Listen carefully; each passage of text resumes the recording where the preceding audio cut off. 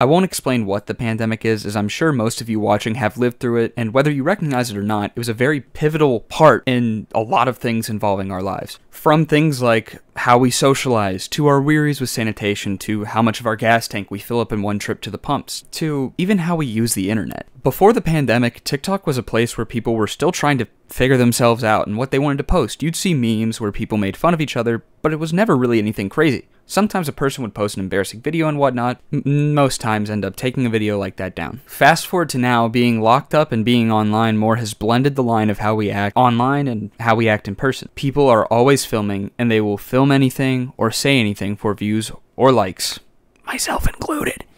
And these people are ballsy. They're confident in just posting utter.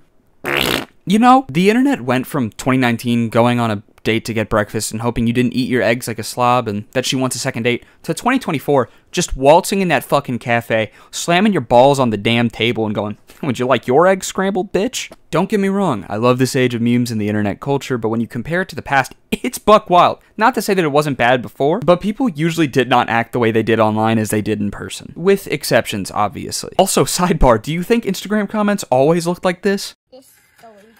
Nice. What'd you build, buddy? Uh, roller coaster. Anyways, here's a couple of TikToks that were created, you know, post pandemic that it kind of just made me want to kick a fucking field goal with the bucket. Got me different rollers and I still get to the time, bitch. Shake it to my flow. So the first one that actually immediately comes to mind is a video I saw about two years ago on my For You page of this woman in the hospital with her newborn baby who is severely ill, and she is doing a TikTok dance right next to him, which is crazy because this baby is just laying here motionless, clinging on to dear life.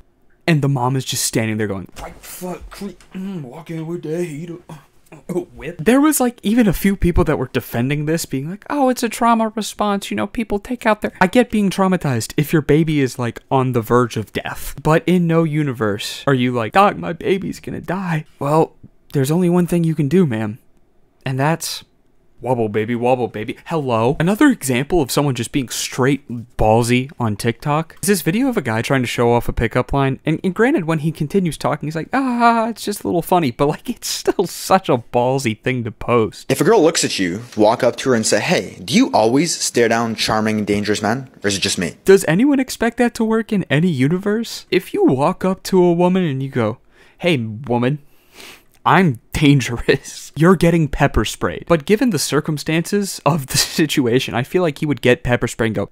Ew, uh, You're on the squirt squad. It's not even like it always has to be a ballsy video either. There is just utter shit on TikTok. Like videos that I've seen them and you're like, how in the world does this have 500,000 likes? There's a video, and granted, this is this guy's content. I'm not dogging on it. But all he does is cut a Domino's cake into three pieces and then just freak the fuck out. And every time I see it, it gets like 500,000 likes. And it's not even that it's just him. There's so many people that do this. I mean, people used to shit on 5 Minute Crafts for having stupid life hacks, but at least they completed them. You'll see videos where people will be like, oh, look at this life hack. And they'll put a piece of tape on a microwave and then just cut to the next video. There's no life hack. Not to mention all of the movie clips that are subtitled, voiceovered, with Subway dude. Surfers this white boy gameplay going on, plus someone Someone playing with their cables to his discharge or whatever all below it. And it's like, do you really need all of this? I mean, other people have definitely pointed out, but how are our attention spans this bad that because there was like a year where content like this thrived on TikTok. The last one I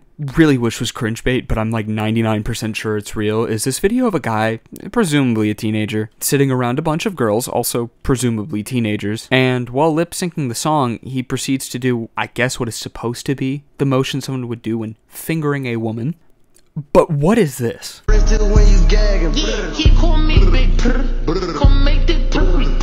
Get you get around the bad bitches for five seconds, and you start doing cosplay hands.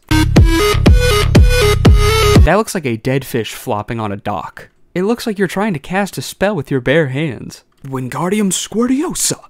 what is it with me and squirting today? I'm like a squirt soldier today. Anyways, to save myself from cringing further at like any of these videos, I, I feel like I might have somewhat gotten a point across. If you guys don't agree with me, that's completely fine. If you have any opinions on the subject, you know, feel free to let me know. I'd be happy to hear about them in the comments. Just, you know, be respectful and all of that. But Thank you guys for watching. If you enjoyed, feel free to share with a friend because if you enjoyed it, they might also. Uh, don't forget to follow me on my other socials. And without further ado, be good people and Peace out. I got me different rollers and I still get to the time, bitch. Shake it to my flow, give it back, cause it's my shit. Put my hands on niggas and I put it on a dike, bitch.